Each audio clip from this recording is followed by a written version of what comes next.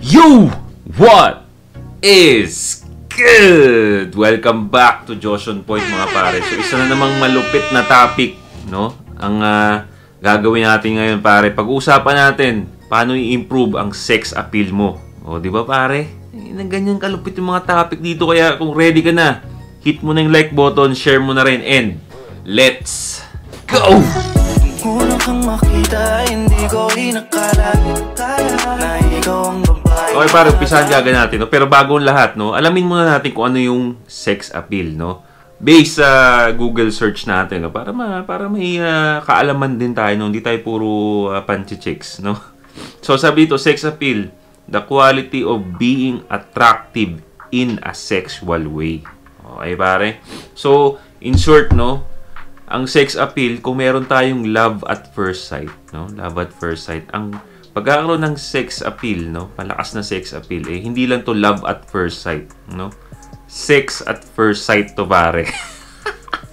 Ganon kalupit, no? Ito yung dating mo, pare, no? Pagka nakita ka ng babae, ang sexy mo, no? Ang sexy mo as lalaki, di ba? So tayo, pagka nakikita natin yung babae, ang malakas na sex appeal na babae, syempre, ano pa ba?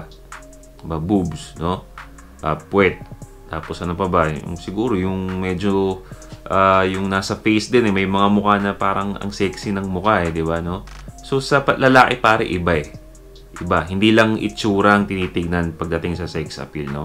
Tara, pag-usapan natin. Number one agad pare. Number one na pang pa-improve ng sex appeal ninyo, no? Dito, ah, medyo controversial to, no? And ah, disclaimer lang, no? Hindi lahat eh afford or kaya maggawin to. Okay, number one pare, para lumakas yung sex appeal mo is, obvious na to, having a tattoo. Okay? So, alam nyo na yan kung bakit ko sinabi na hindi lahat ay kayang gawin to. Kasi syempre, may mga religion dyan na hindi pwede to. No? May mga religion na hindi pwede to. And syempre, no? Um, bago kayo magpatato pare, research nyo muna. Kasi yung trabaho na kukunin nyo, yung trabaho na pangarap ninyong kunin, eh, hindi pwede ang tattoo. So, doon tayo nagka-problema, pare. Okay, may experience na ako niyan. No? I-hire na dapat ako. No? Magpipirma na lang ako ng kontrata. Pero nung nakita nila yung tattoo ko, eh, nagbago isip nila, pare. No? Sobrang experience yun sa akin, no, na kaya yun, sinasabi ko yan sa inyo kasi ayoko mangyari sa inyo yun. No? Pero okay naman na ako ngayon eh. Proven and tested na yan pare. No? Na pagka may tattoo ka talaga, no? lalo na yung mga full sleeve, tapos marunong ka pa manamit, di ba? Malakas ang sex appeal niyan pare. Sex appeal yan, hindi yan um, cute. Hindi yan cute, no? Sex appeal yan, pare. Mas malakas yan sa pagiging cute. Mas, maka- mas malakas yan sa pagiging pogi lang ang sex appeal. No? Lalo na pagka ka, patignan, tapos may tattoo ka, no?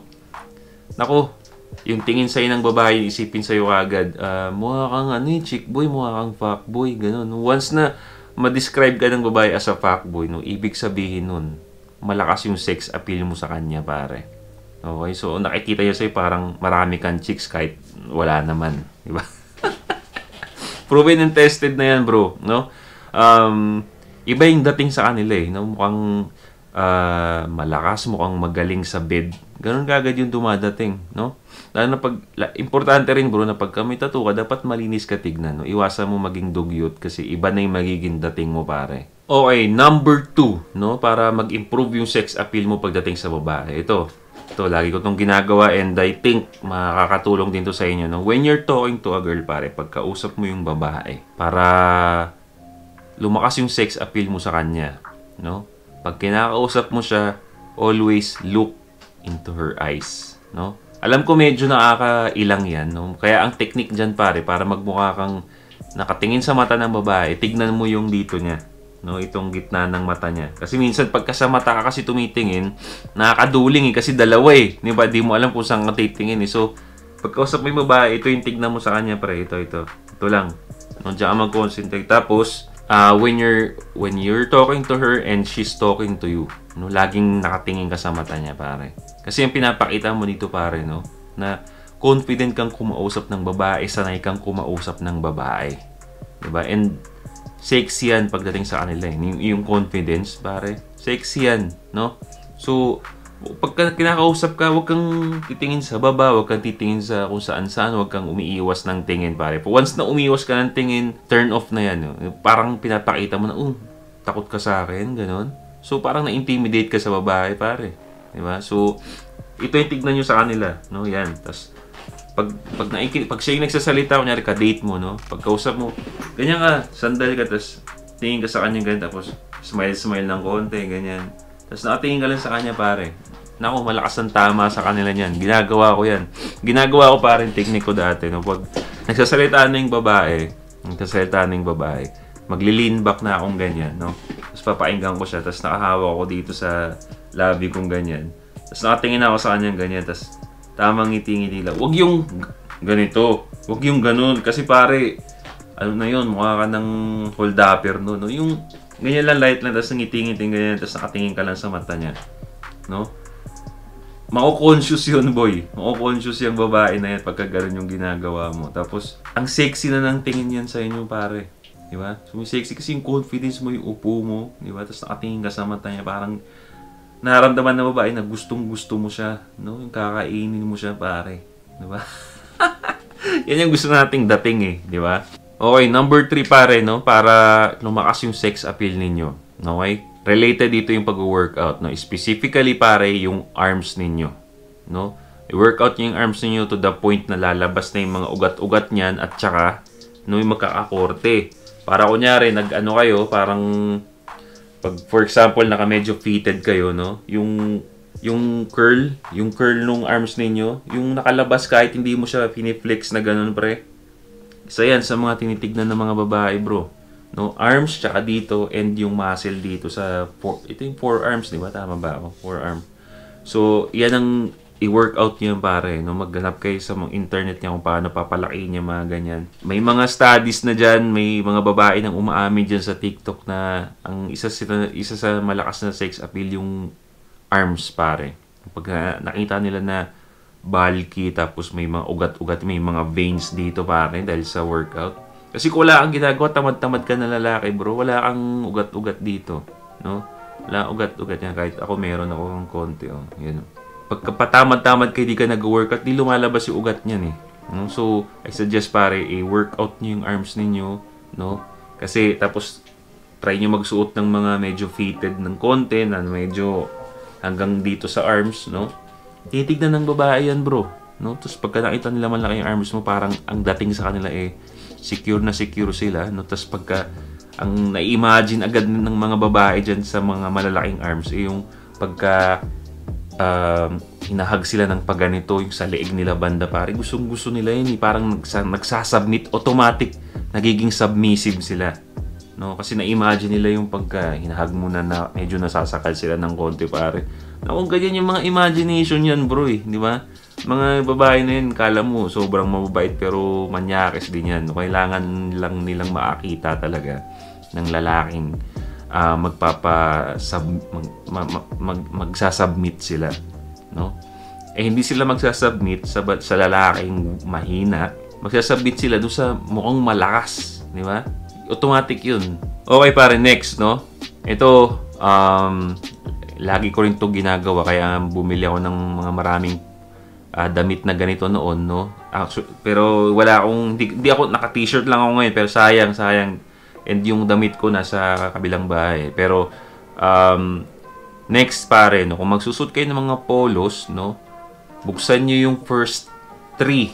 First three na button, no? Yung medyo magpo-form ng mini uh, v-neck. Huwag naman yung sobrang v-neck pare na hanggang dito, no? Buksan nyo yung polo na chest nyo dito, no, makikita. Tapos maglagay kayo ng, maglagay kayo ng gold chains dyan or kahit anong accessory. Okay? Maglalagay ako ng picture dyan, example dyan sa screen para makita ninyo. Okay? Alam na yan, pare. No, pagka ganyan yung dating mo, no, nakabukas yung buttons na yan. Ang message na pinapakita mo dyan sa babae, super confident mo. No? Confident ka, no, and ang sexy ng dating sa kanila niyan, pare. Okay, tinitignan din nila yan ng mga babae na hindi lang natin alam, hindi lang hindi nyo lang alam kasi hindi naman sila umaamin eh. 'Di ba? Minsan uh, patweetams lang yung mga yan, no? Pero syempre, may ibang babae na post sa TikTok na nakikita natin, no? And sinasabi nila yan, no? Pagka medyo naka-open, wag naman sobra. Ay, ayaw nila nun, no? Nakakita ko ng gano'n na ayaw nila ng mga sobrang bukas na bukas na polo kasi mukha daw uh, uh, mayabang agad mo ang presko. Yung light lang, pare, no? Pero minsan si Andrew Tate, nakikita ko hanggang dito eh. Pero kasi, kaya niya yun, pare. Tangin, sobrang mayaman nun eh. Kaya, kahit anong gawin nun, wala namang pakilam yung babae as long as madami siyang pera, pare. Diba? So, uh, exempted si doon. Pero tayong mga middle class lang, eh, yung sad lang, yung ano lang, uh, simpleng pogi lang, di ba? Yung three buttons na nakabukas. Tapos lagyan mo na accessory, pare. Tapos mabango ka patignan. Ako, pare. Yung mga gustong gusto ng mga chicks yan, sinasabi ko sa inyo. Okay, next tip, no? Tapos na tayo sa mga panglabas na pangpalakas ng sex appeal. Eh, ano naman yung mga kailangan mong galaw, no? Ito number one, pare. Isa sa mga pinagbabawal kong technique, no? Pampalakas ng sex appeal sa babae. Once na na-chat mo na yung babae, nakipag-flirt ka, no? Once makipag-flirt sa'yo, kumakagat siya, tumawa siya, no? Tapos nag-flirt back siya sa'yo, di ba? After nun, pahinga muna. Stop mo muna yung pag-chat mo sa kanya, pare. Okay? Isa yun sa mga pinagbabawal na technique and most effective, no? Pagdating sa pagpalakas ng sex appeal mo, pare. Diba? Sex yan sa kanila yung mga medyo nawawala ka ng nawawala ka ng saglit, pare. No? After mo ipag-flirt, after mo siyang pakagatin, bigla siyang mabibitin, pare lumalakas yung sex appeal mo dyan, no? Nagmumukhang, hindi ka kasi, ang isa sa kasi sa nagkapa-turn on sa mga babae, pare, no? Yung uh, marunong ka mag-seduce, no? Marunong ka mag-flirt, and then marunong ka rin, di ba? Chumil ng konti. And yun yung message na pinapakita natin dito. So, talalandiin kita. Pag kumagat ka, sige, pahinga muna ako. di ba? yun yung parang, iniwan mo, iniwan mo muna sila sa ere saglit. Di ba? Chichill ka lang muna. No? And then mamaya na lang ulit. Diba? Kasi hindi ako uhaw eh. Diba? Pag yung mga message, mga ganyan yung mga galaw pare na inaatake mo yung ano yung babae dyan. Inaatake mo yung emotions niya, yung uh, pag-overthink niya. Diba? Kasi mahilig mag-overthink mga babae. Tapos yung mga, diba? So, pag inatake mo yun sa ginawa mo na yun, parang, ay, no, yung lalaki na to, medyo misteryoso to, na agigil na to, ah, ganito to. So, no, and once you're uh, triggering their emotions, di ba, yung isip nila dyan. Sumisexy ka na, pare. Di ba? Iba, bakit ganun? Bakit ganun? Eh, eh, hindi natin alam, ganun mga babae, magugulo yung mga yan eh. Pag hindi mo pinapaandar yung emotions niyan, nabubor yan eh. Tapos pagka pinapaandar, pagka nagagalit sila sa iyo or naiinis sila, kasi doon ka nagiging sexy sa kanila eh. So, yun pare, isa yun sa mga way para mapaandar mo yung emotions, para tumaas yung sex appeal mo sa kanya, pare. Okay? Okay, last but not the least is mga forbidden technique ko rin, no? Para pampataas ng sex appeal. Ito yung pag yung babae, sinin ka lang, no? Sinin ka lang or hindi ka na ni-replyan. Okay? Makipag-flirt ka sa ibang babae, pare. Okay? Once na ginawa sa'yo ng babae na sinin ka lang, dinedma ka, ginose ka, makipag-flirt ka agad sa ibang babae, pare. Okay? Tapos pagka naka-date mo na yung babae, yung bagong babae, story mo kagad, i-my day mo agad na magkasama kayo. Huwag yung babae lang. Okay? Huwag yung babae lang, yung low-key na piniplex mo yung babae, no? Tapos makikita yan nung, nung dead ma sa'yo, no? Tignan mo mangyayari dyan, pare, no? Hindi ko alam kung nakita niyo yun, no? May nag-trending sa TikTok na ang nagsabi yung nag-post yung babae na ang sabi niya, uh, nung nakita niya daw na may bago nang nililigawan yung binasted niya, eh parang nagiging attracted daw siya dun sa lalaki. Diba? So, ibig sabihin, pagka nakamove on na yung lalaki, diba? Tapos nakakuha, nakakuha na ng chicks yung binasted niya, saka sila nagkaagusto, di ba? Ang gulo, pare, di ba? Alam mo ba, hindi ko na maintindihan mga isip ng mga babae, kaya sabi ko sa inyo, mag-concentrate na lang sa sarili ninyo. Pero yun nga, no? Tumataas yung sex appeal mo once na makakuha ka na ng babae at dinedma mo na siya. So, ganoon yun. Pagka dinedma ka, no, dinedma yung chat mo, mag-flirt ka sa iba, no? Tapos pagka, tiyahin mo agad ng date yung isa, no? Tapos once maka-date mo na yun, medyo i-flex mo lang ng konti. Wag mong i... Wag yung babae lang mismo kasi papalaki mo kagad yung ulo nung ano eh. Yung low-key lang, low-key flex lang. Parang, nangyari pag yung beer mo, tapos slightly papakita mo yung babae, dadaan mo yung sa my day mo. Di ba? Tapos pagka nakita yan nung nang ghost sa'yo, nag, ma, nag, nakita yan nung nan-dead ma sa'yo, nag-sin sa'yo, may intriga yung sabi, ba, loko to ah. Ano to ah, kakaligaw mo lang sa akin last time ah. Tapos ngayon meron ka ng iba. Ba, hindi. Tapos ganyan, iti-take nila as a challenge yan. Saka yan, magre-reply. Tapos, o kaya, mag, magre, magre-reply dun sa, ano mo, magre-reply dun sa, magre-react doon sa my day mo ng, kunyari, laugh react, ganyan. Minsan, uh, ganyan, magre-react ng thumbs up. No? Pag nag-react sa thumbs up, reply mo, sabihin mo, uy, musta? Di ba? Ganun din mo pare, musta? No, chill ka na lang. Kasi may, may kasama ka na eh. So, ganyan lang ang laro pare. Play the game. No, para tumaas yung sex appeal niyo. Ganyan yan eh. Magulo kasi yung mga babae. So, kung di mo sila lalaruin din, di ba? Wala mangyayari sa'yo. Di ba? You have to play their game eh. Di ba? So, that's it. Hopefully, eh, nakatulong tong video na to sa inyo pare, no? And uh, sobrang natutuwa ako na marami nang nagko-comment, marami nang dumadami na yung mga views ng videos ko pare, no? And I'm so happy. Masayang masaya ako dahil uh, marami nang marami ako natutul- natutulungan diyan. Marami nagchat sa akin na nagkakajowa na sila. May isa pa nagchat na dalawa na daw yung kinakausap niya. Wag naman ganun, pre. so wala lang pero nakakatuwa no na from uh, good boy mga nagiging uh, bad boy na dahil lang sa mga videos ko yung nakakuha na ng mga ka-relationship. Di ba? Sino hindi matutuwa doon pare? Di ba?